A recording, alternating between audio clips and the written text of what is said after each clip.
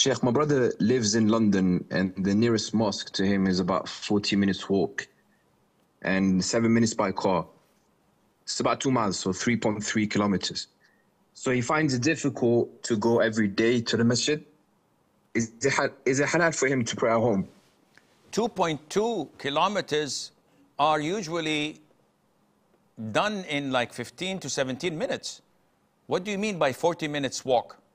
Sorry, sorry, two miles, so 3.3 kilometers. Okay, yes. In this case, yes, he's exempted from praying in the masjid and he doesn't have to drive. But I would personally advise those who live in Kafir country to do whatever is possible to be engaged with the community and to be with the congregation, even if it requires them to drive these few minutes by car, because your heart needs maintenance.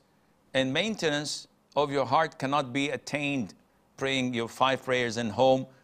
The quality of the prayers are jeopardized and the timing, and sometimes you will skip prayers without noticing it because you follow the steps of shaitan. Yes, it's not mandatory, don't get me wrong. But I'm saying that those who live in a kafir country, you have to work harder than others, and Allah knows best.